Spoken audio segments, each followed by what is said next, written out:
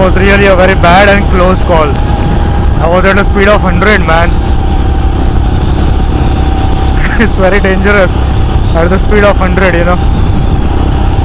अचानक आगे बीच में खड़ा ही हो गया कुत्ता